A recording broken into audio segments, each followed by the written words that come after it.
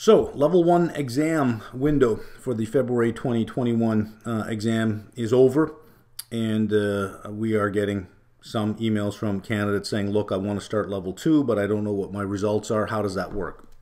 So, uh, after every exam, uh, we have what we call our no cost, low cost strategy that candidates can follow. Uh, I, I don't recommend at this point in time, without knowing your results, I wouldn't recommend buying level two.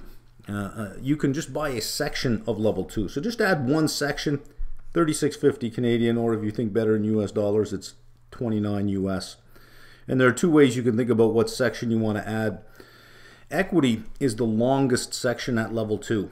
It's not a difficult section. It's actually quite easy. It's like corporate finance. It's easy, but it's long.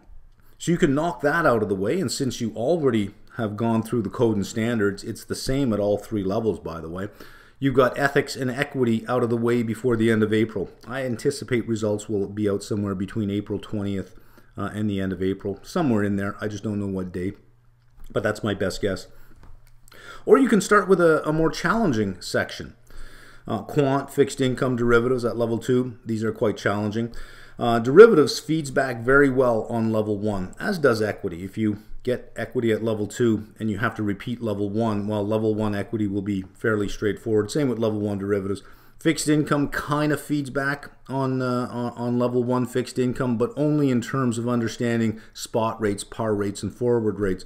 Quant uses a lot of the foundational stuff you learn at level one, uh, so it doesn't really feedback on level one as it much as much as it uses the foundational topic so that if you understand it at level two, you'll understand it at level one. There are two options that will, uh, or two outcomes at the end of April. Outcome number one is you pass level one. Uh, so you're going to add the full level two option for 365, but you've already paid 3650. So you'll only pay the difference. That is the no cost part of the strategy. In other words, it didn't cost you anything because you're paying the same 365 you would have paid anyways. Uh, the low cost part of the strategy is you did not pass level one. Well, it only cost you 3650, right? And if you picked a level that feeds back on level one, well, it helps you out at level one a bit more. Plus, because of our one fee to pass uh, uh, uh, policy now, as of 2021, all our pricing at each level is one fee to pass, one fee to pass that level. So if you buy a level one subscription, you only pay for that subscription once. If you do not pass, we carry you to your next exam. There is no cost in, in, in, in you uh, for on you for, for doing that uh, until you pass that level. So uh, you don't you don't pass. You're only out 3650, but you provide your results and your new registration date, and we will extend your level one access to that date. Uh, there is no cost for us to extend access uh, to that date.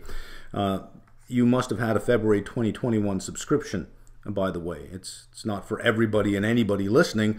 This is for our subscribers. If you had a subscription on our site for February 2021 and you did not pass level one, there is no cost for you to extend your level one access to the next exam that you register for. Not the next window, the next one you register for, whatever that one happens to be. If you decide that it's going to be November, it'll be November. This is the low cost part of that strategy you're only risking 3650 if you if you uh, you know are thinking well i'm not sure if i did pass or didn't pass then risk a small amount. Get started yes but you know there's no point in paying for the whole level if if you're uncertain. Pay a little bit and get started the other option you could follow is say, look, even if I pass level one, pass or fail level one, I don't plan on taking level two until 2022 or until much later in the year, maybe November, so I don't really need to start today. Thank you very much.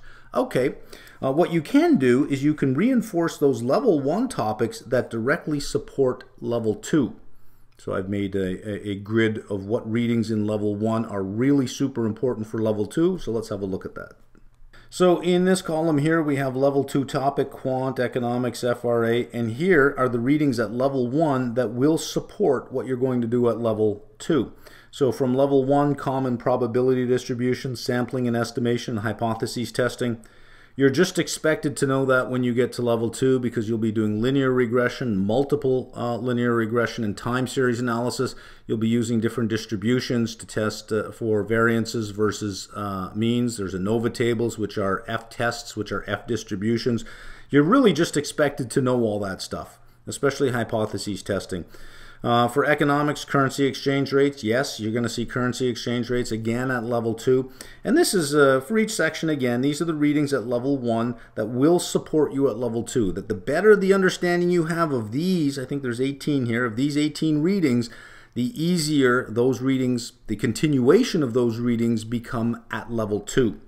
Uh, if you want to know how to get to this uh, chart on our site, uh, simply click on at the very top, click on pricing and subscriptions click on level 2 and scroll down to the uh, full access add-ons. You can add a level 1 archive. If you buy a level 2 subscription on our site and you don't have the level 1 archive already, you can add it.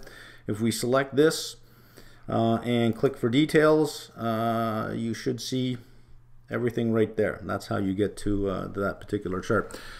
So you can say, well, I don't need to get started on level two right away, but what I can do is I can review these readings from level one, thereby preparing me for an easier time at level two when I do get to those continuation readings or those readings that, that use level one as very foundational material that I'm just expected to know. That's it.